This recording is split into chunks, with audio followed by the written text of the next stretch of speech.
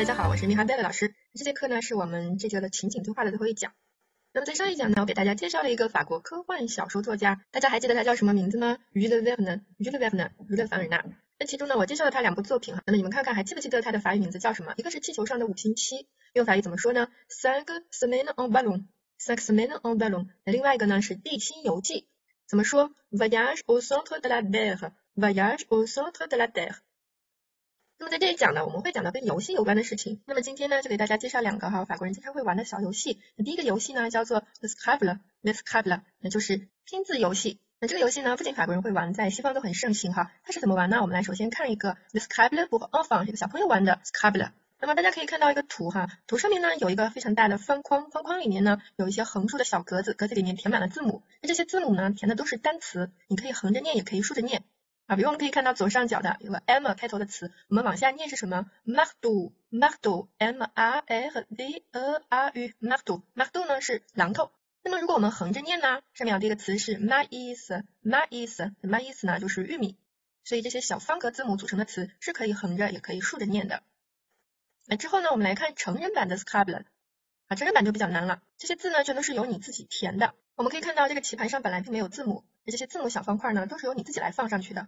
如果你放到深绿色的格子就可以得一分，如果你放到蓝色、浅绿色或者是红色的格子上，那么就可以翻倍得分。那所以呢，你当然是拼的词越长越好。那么这个游戏呢，可以两个人玩、三个人玩，或者是更多的人玩，大家比啊，就是看谁得的分多。那这个呢，就是 Let's Cover 了。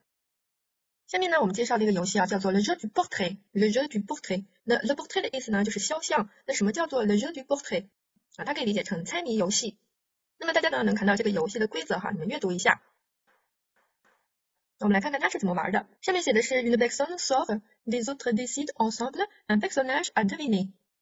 La personne qui est sortie revient et doit poser des questions sous forme d'hypothèse. Si c'était, qu'est-ce que serait Les participants répondent par un mot qui se rapporte à un détail de la vie ou du caractère de la personne. 大家看懂了这个游戏怎么玩呢？首先呢，une personne sort，一个人呢是要出去的。Les autres décident ensemble un personnage à deviner。 那么其他玩游戏的人呢，共同决定一个要猜的人物，le personnage 是人物，le personnage qui est sorti revient，啊，那个出去的人再回来，il va poser des questions sous forme d'hypothèse，他来提问，好，来猜这个谜底是什么，poser des questions 就是提问，sous forme de 就是以什么什么的形式，la forme 是形式，hypothèse，hypothèse 是假设，啊，比如什么类型的问题呢？si c'était，啊，是不是？注意，因为它是假设，所以你提的这些问题呢，就需要用到条件式现在时。啊，si c'était 就是那个如果从句中的从句，si c'était imparfait 被完成过去式。啊，或者是问什么问题呢 this is a 是什么东西？Les participants répondent par un mot。啊，其他人呢可以用一个词来回答它。什么样的词呢？那后面有 qui 引导了长长的限定语哈，qui se rapporte à un détail de la vie ou du caractère de la personne。这个词呢就是跟那个谜底人物生平或者是性格有关的一个小的细节。那么换句话说呢，就是有一堆人啊，让其中一个人猜他们想的共同的一个谜底人物是什么。那这个猜谜的人呢，只能问问题，问哎是不是这个，是不是那个。那么回答的人呢，只能回答一个词，这个词呢是跟谜底有关的。那么我们这些聚会的小伙伴们，今天就要玩这个游戏。嗯，在听录音之前呢，我给大家提个问题，问题就是 Pourquoi Anne Sophie a quitté le jeu？Pourquoi Anne Sophie a quitté le jeu？啊，为什么 Anne Sophie 她离开了这个游戏呢？我们来一起听。Scène quatre. Après le dîner.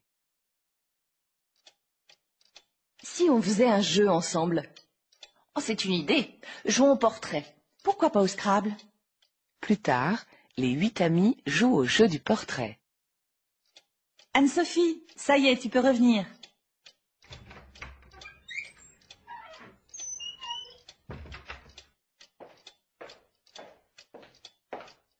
Alors, c'est un homme ou une femme? Une femme, sans hésitation. Euh, si c'était un personnage politique? Ce serait une reine. Une reine autoritaire. Et si elle avait un amoureux? Il serait étranger. Si c'était une plante? Une plante carnivore. Une boisson? De la bière. Et un animal? Un serpent. Ou un crocodile. Bon, si c'est comme ça, je préfère aller me coucher. Continuez sans moi. Qu'est-ce qui lui arrive Elle l'a mal pris.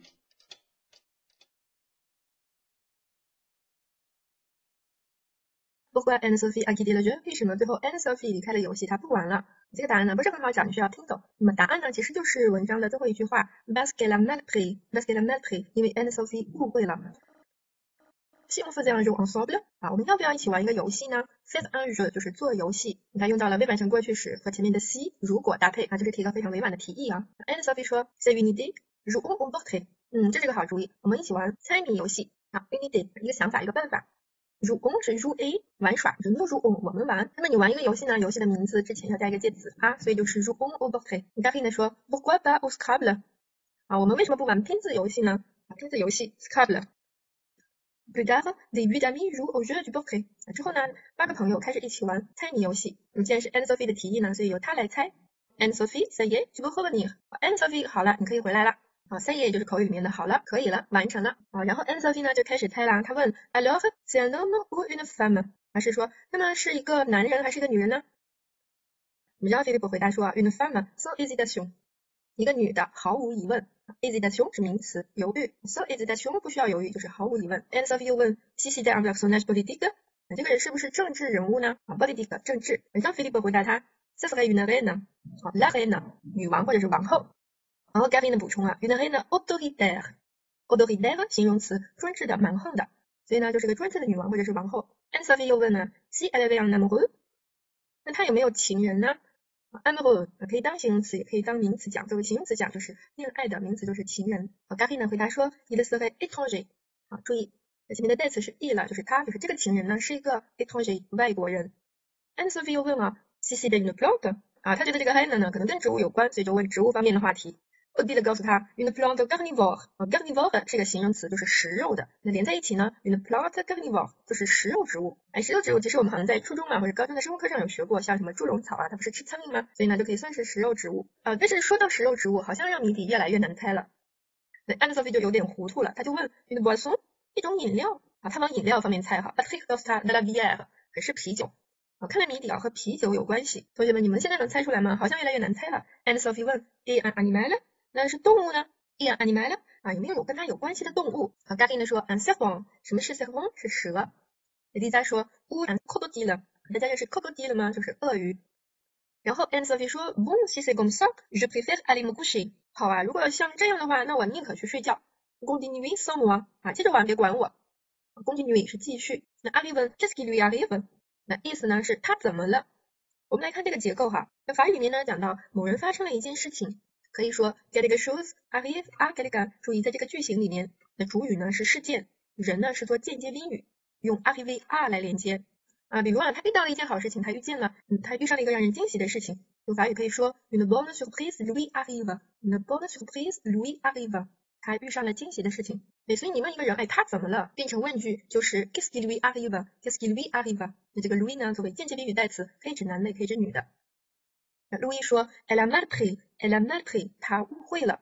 我们来看哈，这个句型呢是 avoir mal pris，那这个 pris 呢是 prendre 拿的过去分词。我们从字面上来看啊，avoir mal pris 就是拿错了，那么它可以理解为啊误会了。那么现在我们情景对话讲完了，请问同学们有没有看得出来为什么 Anne Sophie 会误会了呢？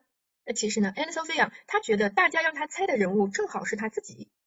我们来看一看哈，那么首先呢，他猜到的是 une femme 是个女的，然后之后呢，大家告诉他是 une reine，ça serait une reine，une reine autoritaire 是一个很蛮横、专横的女王，他觉得哦，好像是在讽刺我。那之后呢，这个女王呢，还有一个 Amo 有一个情人，那她是不是有男朋友？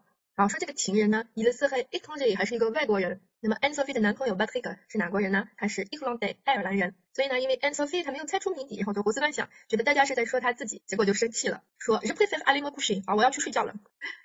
好，那同学们，你能猜出这个谜的谜底是什么吗？好，大家可以想一想，这个谜的要点是什么？Une reine autoritaire, un amoureux étranger, plante carnivore, bière, serpent 和 c o c o d i l e。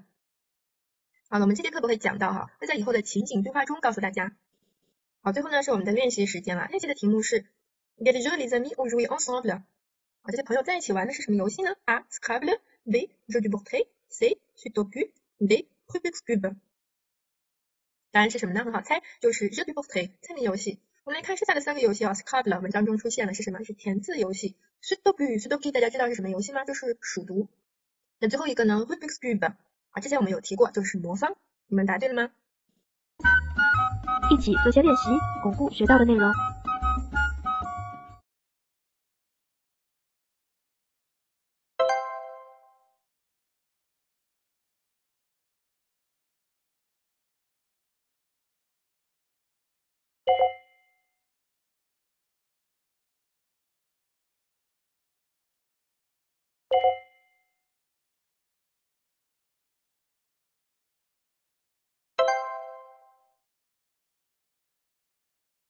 非常感谢大家的收听，我们下一次再见。Next, à la fois prochaine.